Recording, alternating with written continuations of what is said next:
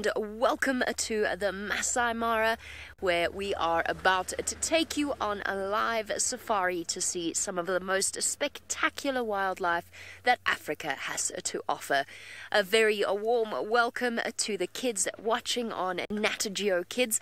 My name is Jamie, and this afternoon Manu is on camera with me, and we are really, really excited to share this live safari with all of you. For our regular viewers, in an hour or so, the safari will continue as normal, which means that you can send through your questions in the normal ways.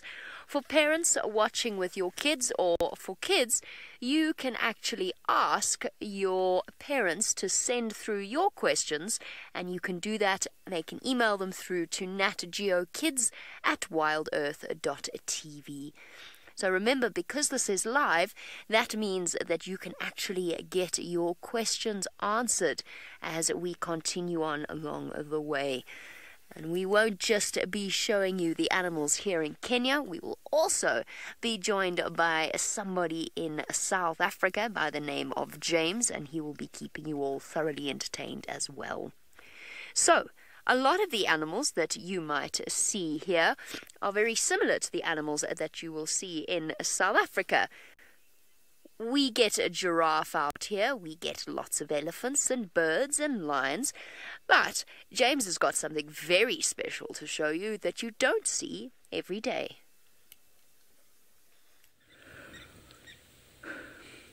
Hello, everybody, and welcome to this National Geographic Kids special show, this time from the Western Kruger National Park of South Africa.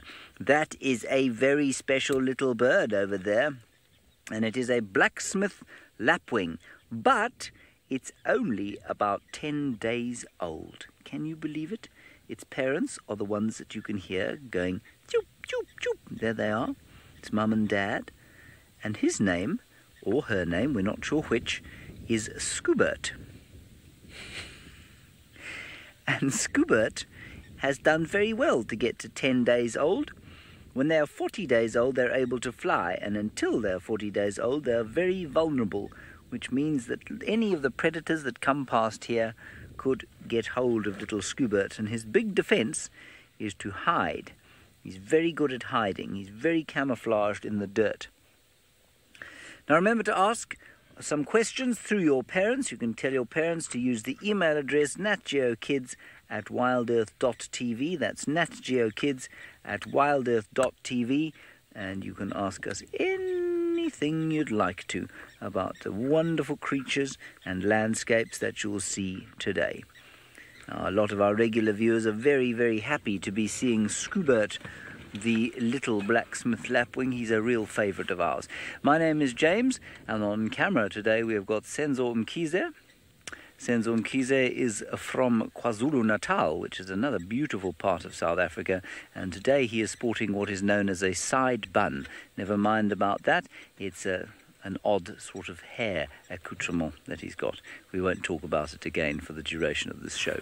Let's go back to Scoobert over there and we still see old Scoobert.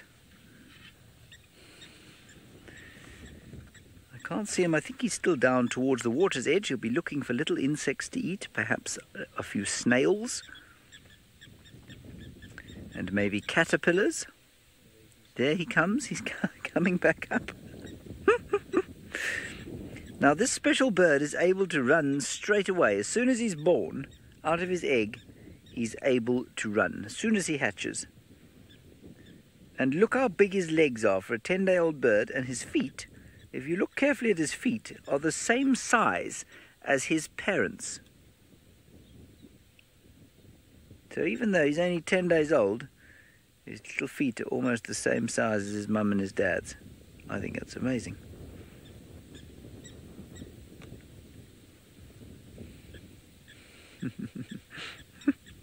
Oh, what a special little bird. He's like a dirty blob of cotton wool on a couple of thin sticks. But he's very fast at running and he's very good at hiding. 40 days, I say, until he can fly, so he's probably got another 30 or so to go. Now, one of the things that might eat Scoobert, and he'll have to be very careful. Lorraine, you say he needs he needs to have uh, security for 30 days. He does need to have security for 30 days. And one of the things that might try and eat him is the following. Let me show it to you. Oh, in fact, there are two things looking this way. I don't think they'll come here because normally they'll eat other things. But if you look over there, we've got two birds of prey. And that means that they're birds that hunt. They are called Wahlberg's eagles. And this pair of Wahlberg's eagles has a very interesting story. The one at the top we think is the female. Now they come back to the same nest every single year. And that Wahlberg's eagle, the pale form Wahlberg's eagle, came back last year and the year after and the year before that and the year before that to the same nest with a different partner from the one that she came back with today. There he is, and we don't know what happened to her original husband because normally they don't change. So maybe during the long migration that they had to make from the middle parts of Africa, just south of the Sahara, maybe her husband met an accident We don't really know for sure, but what we do know is this year she came back on her own with a new husband. Isn't that interesting? I think it's fascinating. Anyway, they've come back to the same nest, same area, and we'll see what happens over the course of this year. In the meantime, we're going to move on down towards the south of this reserve and see if we can't find ourselves a leopard. That would be very nice to show you. In the meantime, let's go back to Jamie and the Mara. Now, James has been showing you some of the different species of birds that we get out here in the African wilderness. Now, just have a look at this giraffe and see how many birds you can count all along its back and along its neck. Now, this is a bird that's different from the tiny baby lapwing and different to the Wahlberg's eagles. This is a bird known as an oxpecker, and there are probably about eight or so on the back of this giraffe. Now, what they are doing is acting as the giraffe's cleanup crew. So you can see how that one on the bottom of its neck is balanced there using its claws to grip onto its fur and then stiff tail feathers to prop it up. Now, what it's searching for is ectoparasites, things like ticks, maybe mites, anything like that that it can eat. Now, it's not doing it necessarily to help the giraffe out, it's actually doing that because that is what it feeds on but it helps the giraffe get rid of some of those pesky, itchy parasites that are living on its skin. So, in a way, those birds are really helpful to this giraffe. Sometimes, though, they can be a bit of a pest. So, if the giraffe has any kind of injury, or perhaps a heavy wax build-up in its ear, or anything like that, maybe patches of raw skin, then the birds will actually peck at the giraffe's injuries and they'll stop it from healing. Because just in the same way that they feed on ticks, they also feed on blood and mucus as well. Isn't this giraffe beautiful? She doesn't have any injuries. A beautifully elegant animal staring out from her position with her head up, up high, looking around to see if there are any potential threats before moving along to see. Oh, look, she's spotted something, and so has Manu. How cool is this? We've been looking at the tallest land mammal. Now let's look at the tallest bird. This is a female ostrich, the biggest bird in the entire world. And they're so big that they actually cannot even fly. So as she walks along, they have adapted in a completely different way. Sort of similar to the little lapwings. The lapwings can fly, but they spend a lot of time on the ground, running backwards and forwards. Ostriches can't fly, but they also can run very, very fast. And if you look at her legs, you can see she's got powerful muscles around her thighs that help her to run as fast as she needs to, to make up for the fact that she can't fly away from potential threats. And there's lots of potential danger out here for a female ostrich like this. Something like a lion or a cheetah or even a leopard might decide that an ostrich is on their menu. So that was a fantastic find. That's what the giraffe were looking at as she walks along past them. I saw some more ostriches off in the distance, so we'll probably go and sit with them for a little bit as well. Now the giraffe is leaning down to feed on the leaves of that bush. Oh, there's so much to see here. There's a warthog as well. It's a sort of an African species of pig. This is why I've come to this particular part of the Masai Mara because it's very, very swampy. There's lots of water around and mud, and it means that the grass is very bright green and very nutritious for the animals. So, this is where they come. And that's why I've brought you here to come and see the different animal species.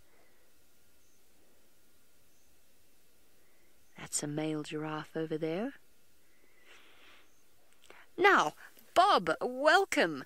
Bob, you want to know how many types of giraffe are here.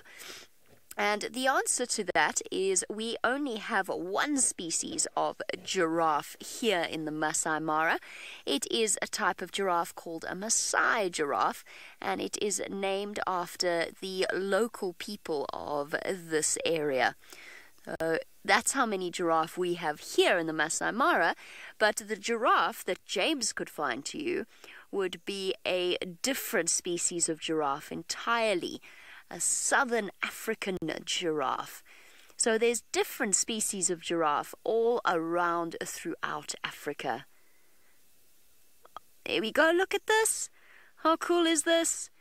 That is a male ostrich, and he has seen the female making her way to, towards him. and he's doing what to the female is a very, very attractive, attractive dance. Look at it go. Swaying backwards, forwards, backwards, forwards. He looks a little bit silly, doesn't he? But for the female, that is basically like a man in a tuxedo dancing the tango. So she thinks he looks wonderful doing that. Oh, and he's even got his neck in on the act as well. Can see how flushed pink he is. Sitting Bull, you want to know if an ostrich will sit on its eggs. The answer is yes, and not just the female ostrich. Well, I see the elephants. We'll come back to those later. Not just the female ostrich, the male ostrich as well will also take responsibility for protecting his family. Look at him go. He's running towards the female. What does she think? Look at him trotting. he fell down. oh, now we're doing the dance again. very, very elegant.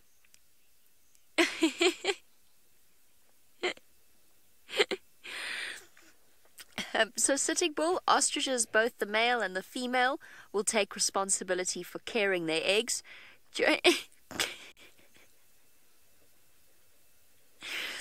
During the day, they will. The most important thing to do is to keep to keep them cool and shaded from the hot Masai Mara sun. And of course, then at night, when the temperatures drop. Sorry, he's making me laugh terribly. When the temperatures drop. Oh, there's the female. I didn't realize she was there. So there we go. He found his lady friend, and hopefully they'll be able to start a family soon.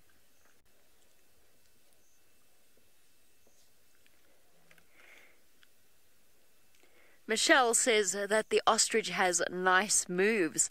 Michelle, absolutely.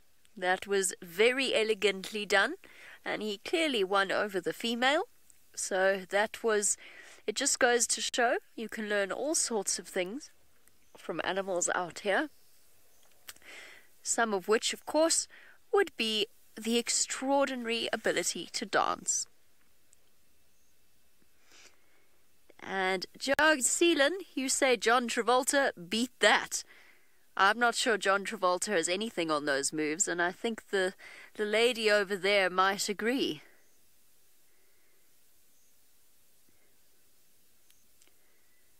Sandy from Greece. She was obviously well and truly won over. He was clearly quite happy to see her as well. So companionship is important in the wild. Here we've got a female and a male giraffe who are also courting. Oh, there we go. The ostrich needs a cool down stretch after those dance moves.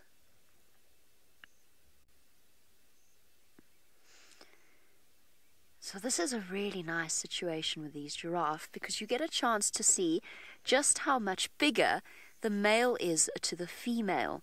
So they're standing right next to each other and sometimes it's difficult to see, but look here, look how much lower her shoulders are to his shoulders. Look how much smaller she is than him. That's something that we don't often get to see. There you go, look at that. Now she is probably an entire two feet shorter than he is.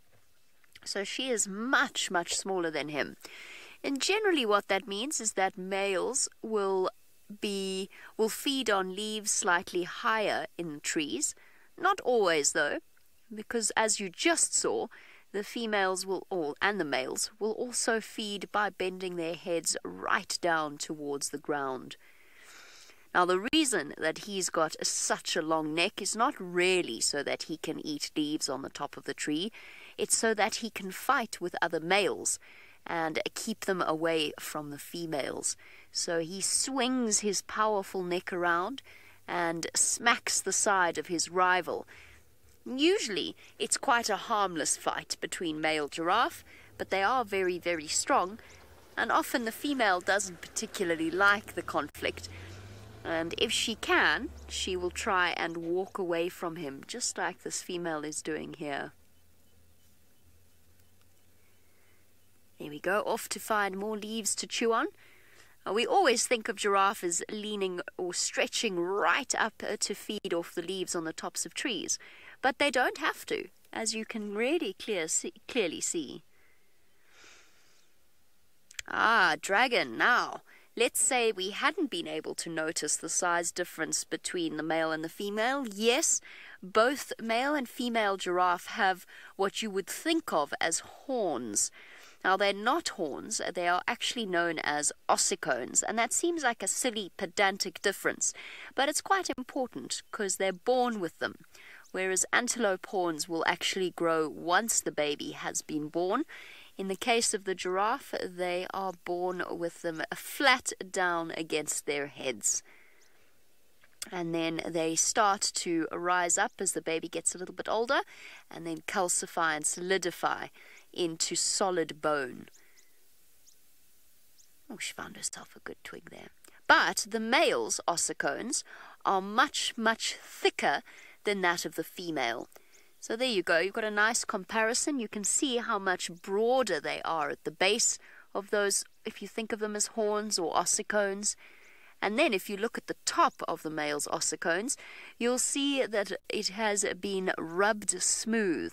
Well, we say rubbed smooth. As, as they grow in the males and as they start to get larger, that bald patch sort of develops quite naturally. It's not necessarily just made by fighting. You'll also see that he's got quite a prominent bump between his eyes. Of course, as I said that, he turned away from us because that's just how things work. But he's got quite a prominent bump up between his eyes on his forehead, and that's also used as a weapon between male fighting a giraffe. And he's just going to keep following the lady, and wherever she goes, he will follow.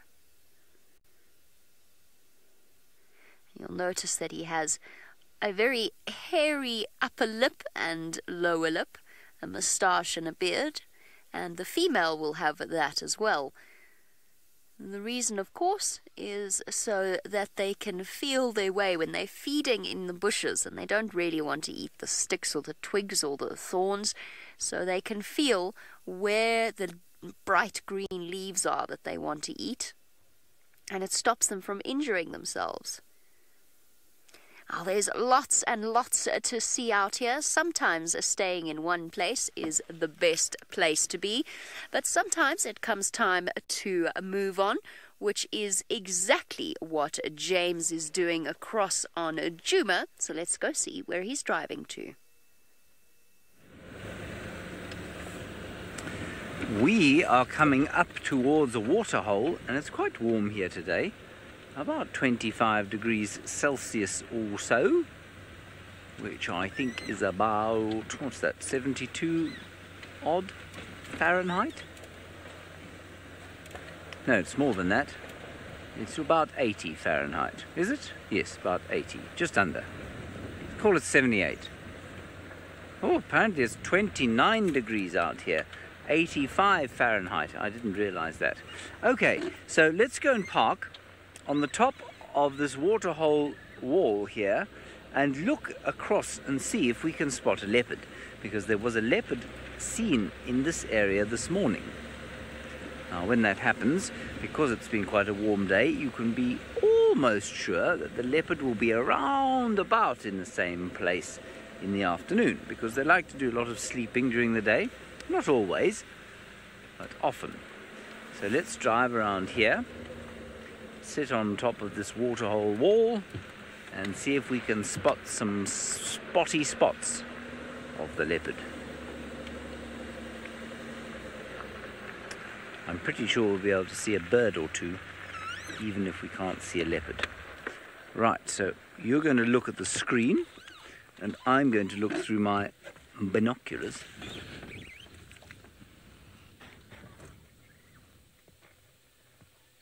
we can hear the call of the Burchell starling.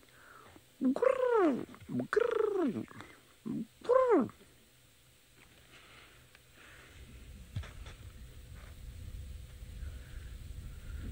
can't see a leopard yet though.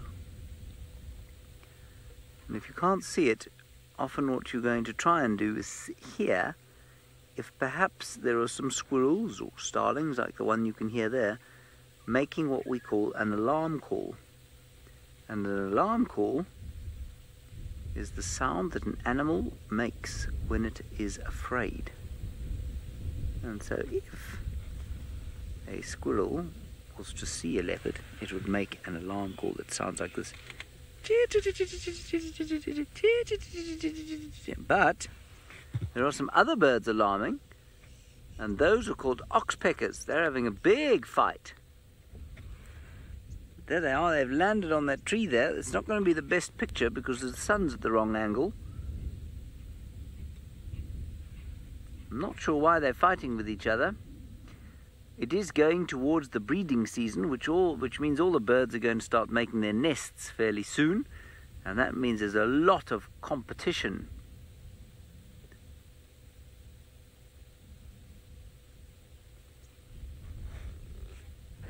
Jocelyn, the rainy season will come probably sometime around November. Now, we did have a little bit of rain today. We were supposed to have a lot more. Apparently, we were supposed to have about an inch of rain today. We'd get expect to have about an inch or two this month and an inch or two next month, but then we'd expect to have the really big storms come November. And until then, things will be pretty dry, but not so dry that the animals can't handle them. They are used to it being dry and hot here. Oh, and we've got a special little bird that Senzo's managed to spot. That is very special. And I'll tell you why it's very special. That, everybody, is known as a wood sandpiper. And a wood sandpiper has come all the way from the Palearctic region that is the area around about Asia and Europe, around about that huge area that is Asia and Europe, and those birds have spent their summer your summer in the northern hemisphere there, and they've come back for our summer this side of the world.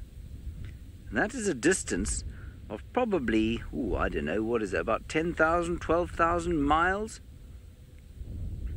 Isn't that amazing? I think it's pretty amazing. Let me tell you exactly where it goes. We haven't seen one of those since last summer.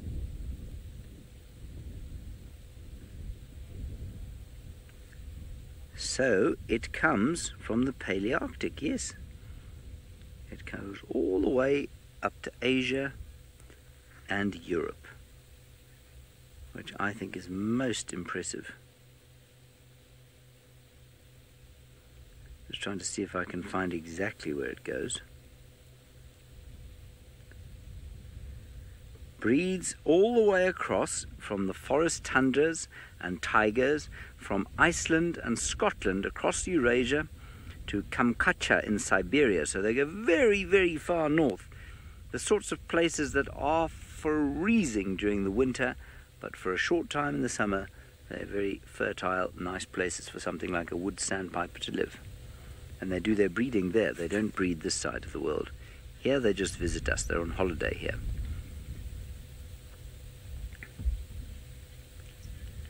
Now, we have met Jamie, and now we're going to go across to a chap called Brent Leo Smith. And Brent Leo Smith's been sitting with the Great Migration all the way up in the Masai Mara. Hello and welcome, guys. Great to have you on this afternoon safari. My name is Brent and I have my good friend Archie on camera and we're next to the Mara River and there's lots of wildlife here and one of the scariest animals of all is on the opposite side of the river. Not the hippos, Archie, but the crocodile. There we go, you got him top right corner.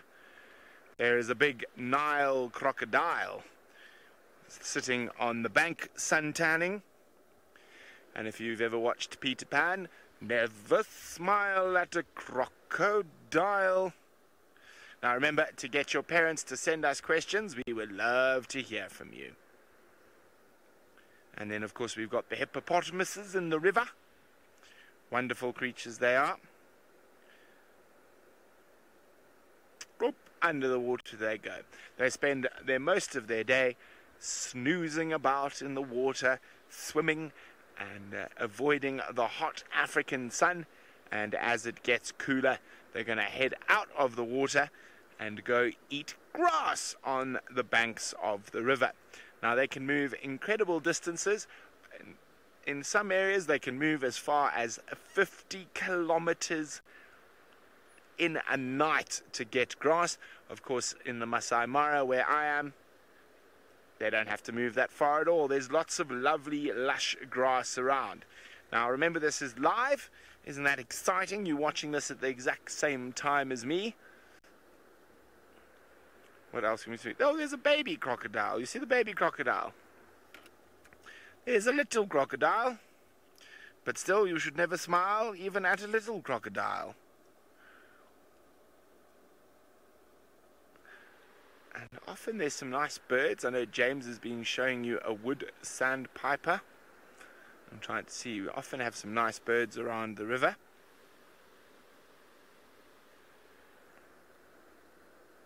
Oh, I see some birds moving over there. Let's go have a look if we can get a closer look at them. Look like some little canaries. Very pretty little yellow birds. Canaries.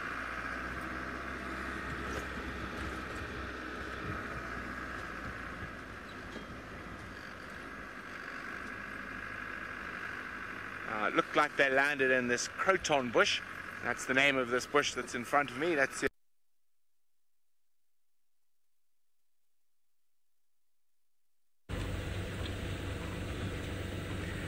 Hello everybody, sorry about that. We're still looking for our leopard here. We do have a number of technical difficulties with the Masai Mara at the moment and I think that our leopard came somewhere along here today. So we're going to keep looking as we drive along this bumpy dirt road. I see where some cars were following her earlier this morning. So we are going to just keep our eyes peeled.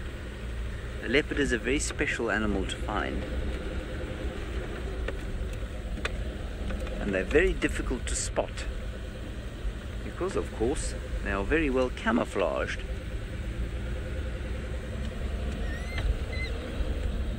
Keep going along here.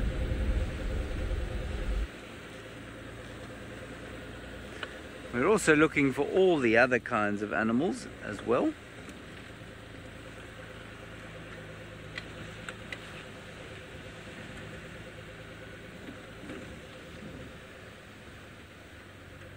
Anyway, we may try and find a tree if we cannot find a leopard for you just yet. Just want to try and cover some distance because we're not with you kids for very long, only about an hour. So we need to try and see if we can find this leopard. Not a lot of animals around here, which makes me think maybe there's a predator here. Now, as I was telling you, we are going towards the springtime, which means there are little signs of spring everywhere.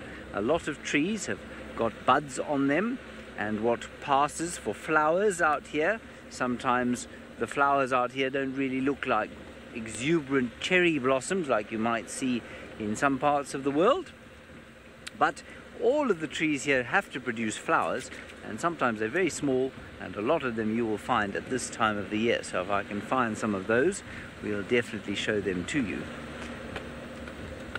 Now let's go down towards the south here. We'd also be looking in the tops of the trees for this leopard. They can climb really well. So let's carefully scour the landscape. Now we had reports that there was a leopard around here this morning. Oh, I can't see a leopard, but what I can see are some impala. So let's have a look see at them. There we are. Some impala over there. Beautiful antelope.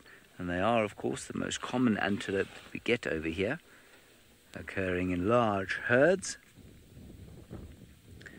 And those are females, and there's one male there with horns, and they occur at this time of the year in mixed groups. Sometimes of the year they really don't like each other very much. The males don't like each other, and so they fight. But at this time of the year, Everyone's pretty friendly to everyone else. Oh, and there's a blackbird there called a fork-tailed drongo. He'll be looking for insects, and those insects will most likely be kicked up off the ground by the impala. So as the impala pick grass and bite bits of vegetation, so insects will fly up and fly away, and the fork-tailed drongo will swoop down and grab them. Glad I don't have to eat insects kicked up by impala. That wouldn't be very nice at all. And they're feeding around that big area there. And that big area that you can see with no grass on it is a termite mound. And termite mounds, although they're full of termites, are very nutritious. And that means that the, well, the soil is very nutritious, and that means that the grass that grows out of them is very nutritious. So you'll often find herbivores around termite mounds. Now, let's keep going along this road. I can hear a little bit of what we might call consternation, which is a alarm calling birds going chip, chip, chip, chip, chip, chip, chip. They might just be fighting with each other, or they may have seen a predator. So let's go along here and have a look. See what we can find. Look very carefully because you could very easily drive past a camouflaged predator. All right, in the meantime, let's go across to Jamie. She does have some communications and an elephant, which is very exciting. And hopefully that elephant will be very entertaining.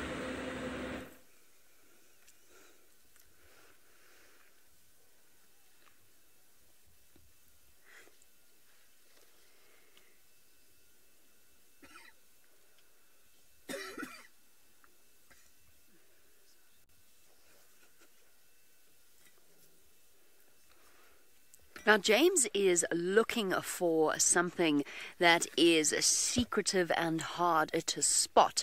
Now, believe it or not, these animals can be secretive and hard to spot at times as well.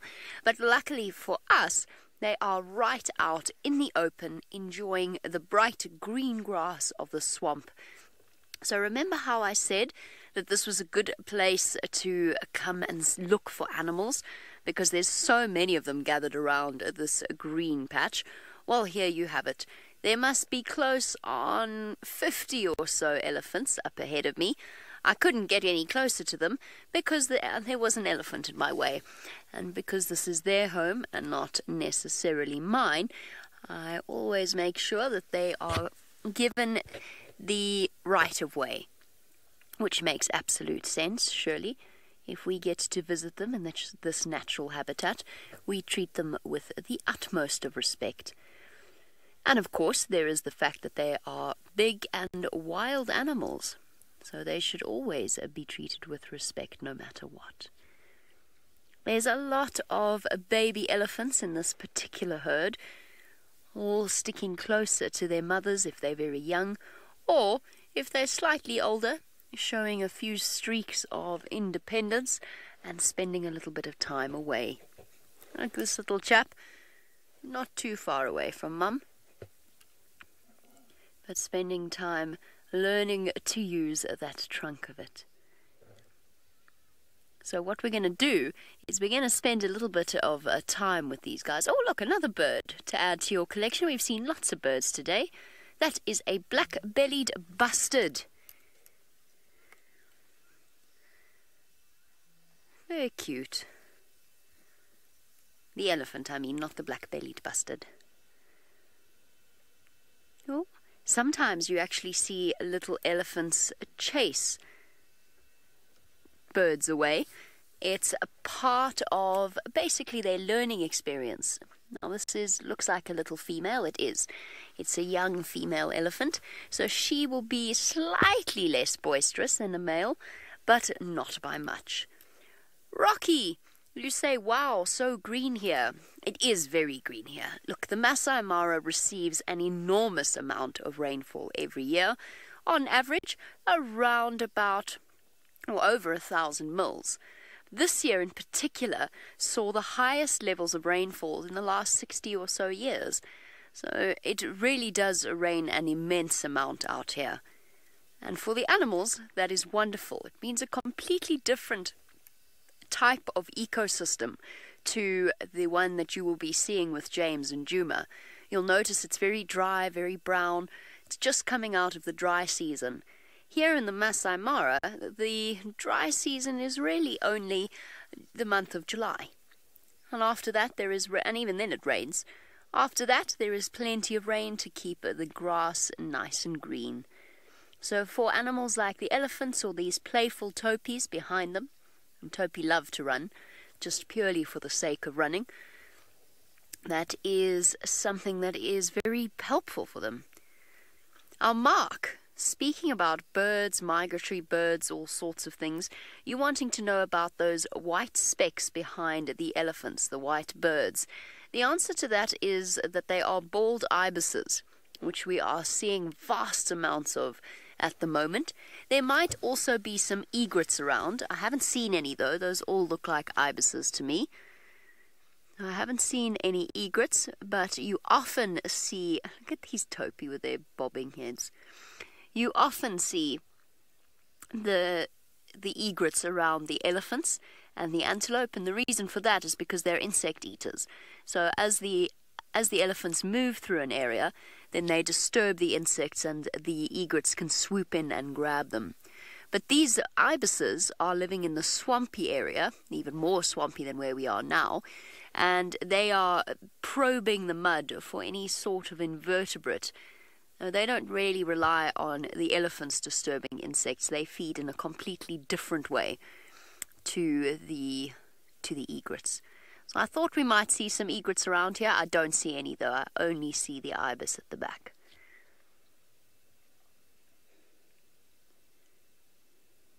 Beautiful topi. In the forest in the background, by the way, is the Great Mara River over there. So that's what you're looking at. That's why all those trees are there. Let's go catch up with our elephants because close encounters with elephants, particularly big herds like this, are really quite special and quite lovely.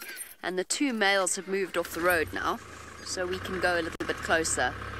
And there's some tiny babies in this herd, so it'll be nice to spend time with them. You'll notice, of course, the animals are very relaxed with our presence, not at all concerned that we're here. That's simply because they're accustomed to safari vehicles. They don't see them as a threat in any way.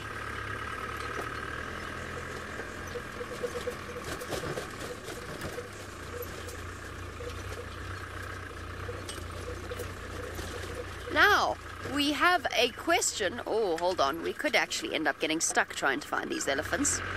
We have a question about what temperature it is here. At the moment, here in the Masai Mara, it is around about 25 or so degrees centigrade, so not far off in, well, not far off 75 in Fahrenheit. The climate of Kenya and the Masai Mara in particular is really quite pleasant. It's very temperate. We're close to the equator, so the temperature doesn't change too much, but at the same time, it. Oh, hold on. We're quite high up, so it doesn't get too hot. So we get nice, even temperatures. It's usually around mid 50s Fahrenheit in the mornings, and then this will be about as hot as it gets. It might go up to 86 or so if it's a really, really hot day, but that's unusual. Here we go.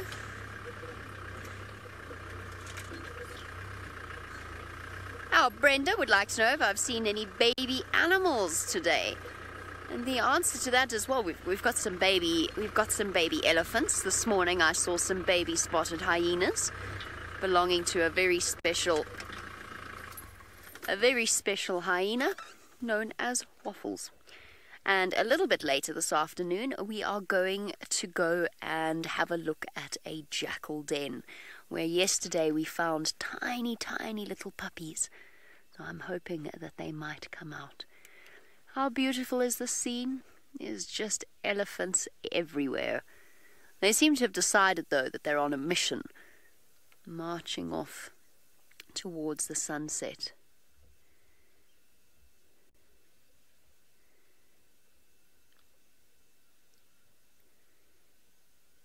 Well, I say sunset. We're not quite there yet. It's only quarter past five in the afternoon here in the Masai Mara, so we've still got a little way before it gets dark. Oh, I see something very interesting. I'm sorry, I know we're looking at the elephants, and we will continue to look at the elephants, but we've been talking a lot about birds, and there's some fascinating birds. I'm going to move slightly because I don't think the camera can reach them. But down there is a very big bird known as a ground hornbill.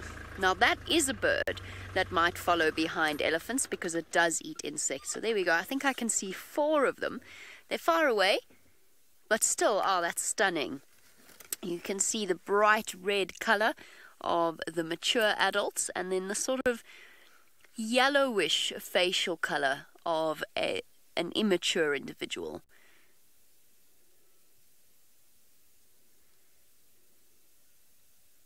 And I'm sorry, it was the question about the temperature came from Olive. By the way, Olive, it is really quite nice and warm. I would say that if you ever do come to the Masai Mara, make sure you bring plenty of skincare products to help to protect your skin against the sun. Lots of hats, sunscreen, sunglasses, all of those sorts of things. There's buffalo in the background, there's elephants in the background, there's waterbuck over there. There's just so much for us to look at. There's the egrets. I knew they had to be somewhere. So those white birds over there are egrets as well as some black-headed herons. That is to continue to answer Mark's question. Here's another waterbuck over there, lying up in the grass. And a topi and a waterbuck. Now, Brenda, you wanted to know about baby animals. It is Topi birthing season, so another reason why I've come this way is uh, to hopefully have a chance to see what a baby taupe, to show you what a baby topi looks like. I haven't seen any yet though. We're still searching carefully. There's a giraffe. Oh my goodness, there's lots and lots to look at. There is a topi antelope in its prime. It looks like she might actually be pregnant. Potentially. She's starting to bulge down at the belly.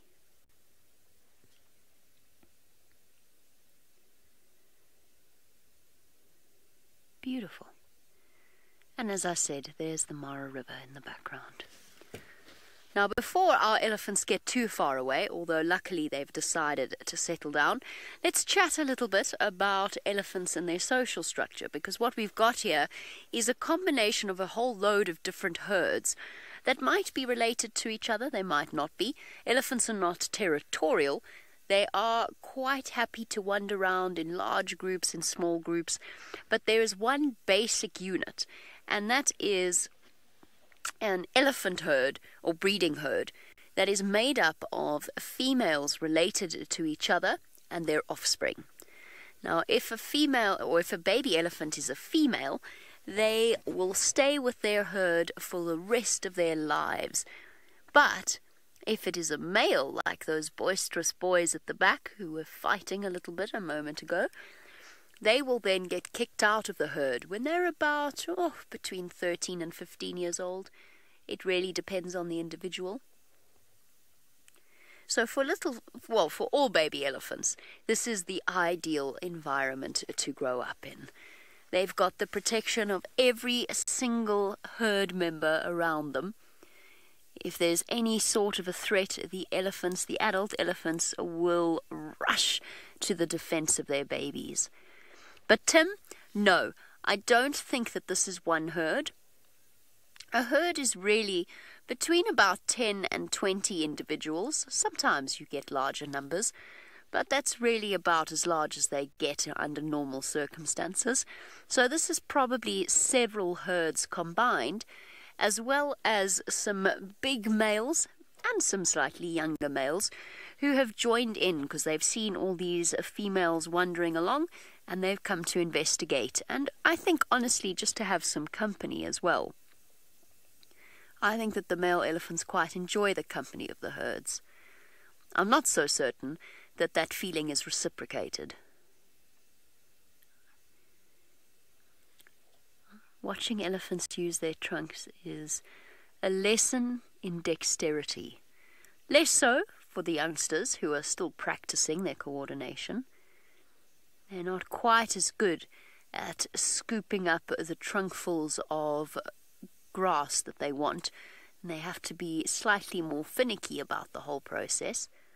Although these two have got an okay grasp, but you'll see how they're only really getting a few strands at a time. Not quite as practiced as the adults around them. It makes sense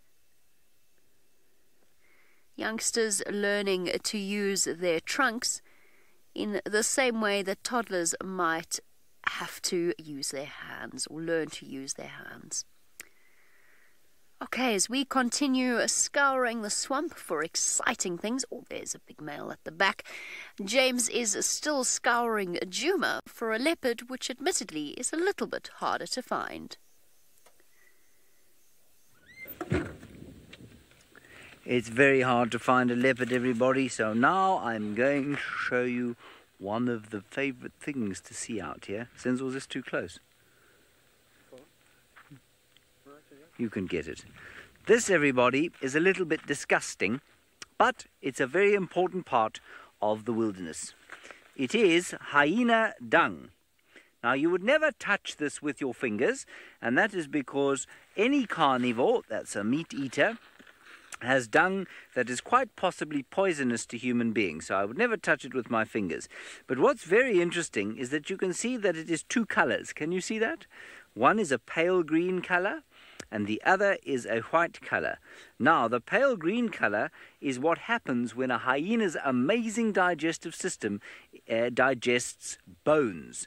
and it comes out greenish and then it turns white in the sun, and that is because of the calcium that is in the dung. Now, I suppose you will learn about calcium probably when you're a little bit older than you are now, depending on how old you are. But calcium is a very important metal, actually, and it turns white when it is exposed to oxygen and it's exposed to light. So that's what's going on here. This hyena would have made his dung mark here as a marking of territory. Nothing really goes to waste out in the wilderness, and even dung is not considered waste. So this dung will be here so that other hyenas who do not belong to the Djuma clan of hyena, they will know this is not their area when they smell and see this hyena dung. Don't worry, it doesn't smell too bad at the moment, and that's because it's not very new. It's quite old. So there could be hyenas around here, but we're not finding a great deal at the moment, and sometimes in the wilderness it's difficult to find animals, and sometimes it's very easy. And this afternoon happens to be one of those afternoons where it's a little bit difficult. So let's keep going.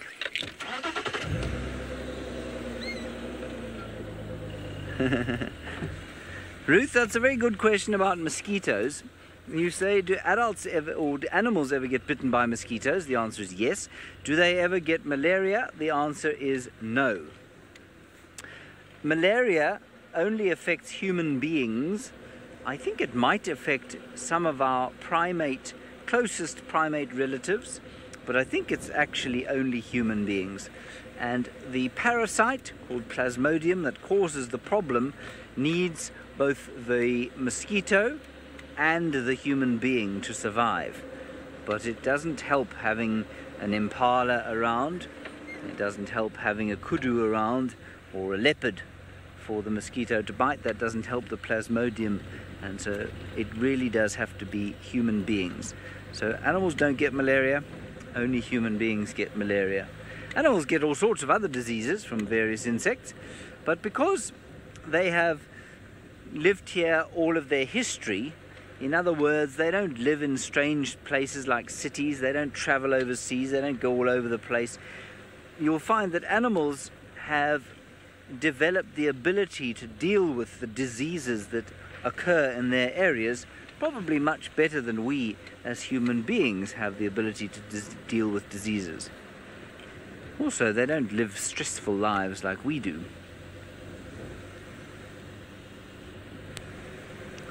Oh, now let's go back to the river with Brent and his crocodiles. I hope before the end of this drive we're going to be able to show you a leopard. We just hope.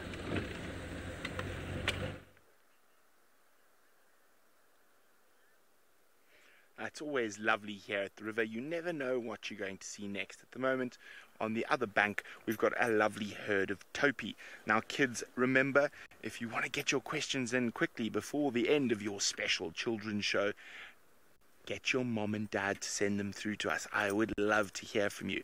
Now, I love sitting at the river. Not only have we got lots of animals, we've got hippos, we've got crocodiles, we've got birds, and I just like the sound of the river through the rapids. So let's have a look what's around. We've got some big crocodiles on the other side, just lazing about. Now, crocodiles like to suntan because it warms up their body and it gives them more mobility. So early in the mornings, crocodiles are very slow at waking up. And we've got a lovely big herd of impala that will try avoid the crocodiles at all costs. Wait, actually, let's stick on the crocodiles. Let's look at their teeth.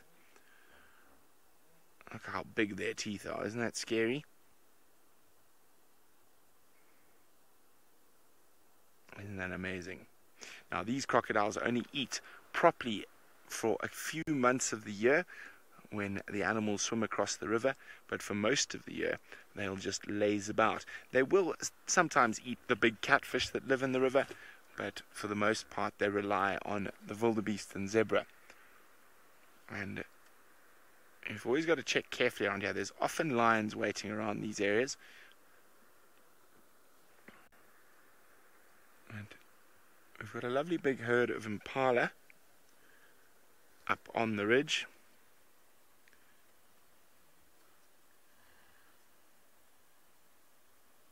Uh, we've got a question from 18 do the crocs go after the hippos? Uh, 18, no, not normally. The hippos are actually much bigger than the crocs, and a hippo has a very impressive set of teeth, and they can actually bite straight through a crocodile. A big hippo's lower um, lower canine uh, can be as long as 60 centimeters, so almost the whole length of my arm. So I'll show you how big that is now. So a hippo's lower incisor can be that big, so it can go straight through a crocodile. So you've got to be careful of hippos as well as crocodiles. I'm just trying to check behind me what's going on because you never know what could happen here the river. Said, there's often lions hiding in these bushes. We've got some more hippos downstream, more hippos upstream, and we're just looking for some birds. Okay, well, I'm going to keep sitting here at the river. While I do that, let's send you all the way back to James in South Africa.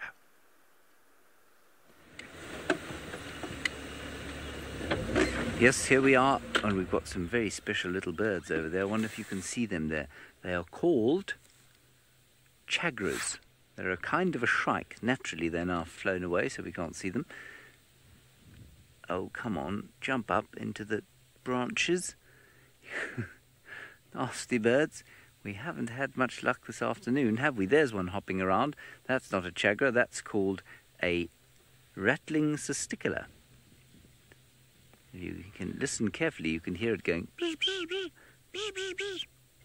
Brenda, yes, I have been to Asia to see animals. I've seen tigers in Asia, and rhino, and Asian elephants, and this was all in India. I've also been to the far east of Russia to look for tigers, but I didn't see any there.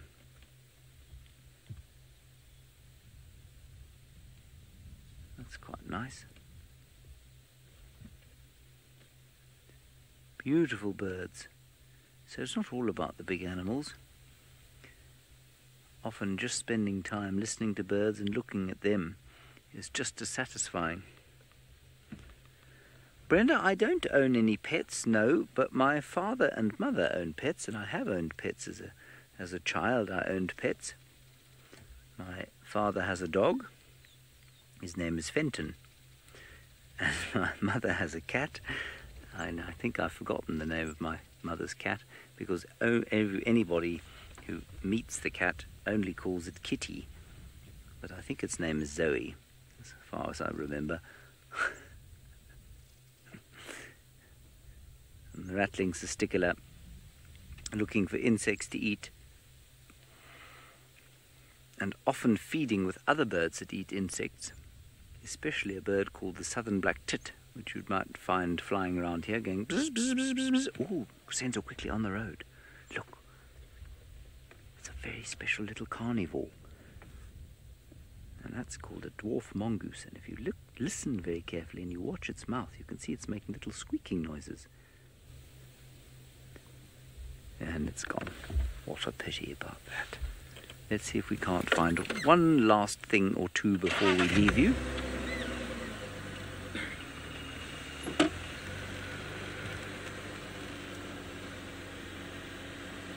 Maybe we'll be very lucky.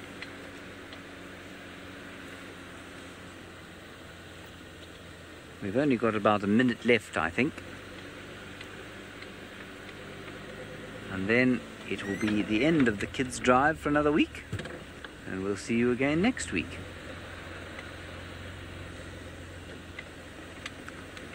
Oh, come on, we've only got 40 seconds left. Surely we can find you some other wonderful creature that we have out here. So many.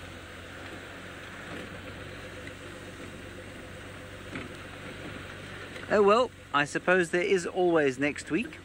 So I hope that you will join us next week. Same time, same place. On the Nat Geo Kids YouTube channel. And you might like to join us for our regular safaris uh, every other day of the week on YouTube. You just go to Safari Live.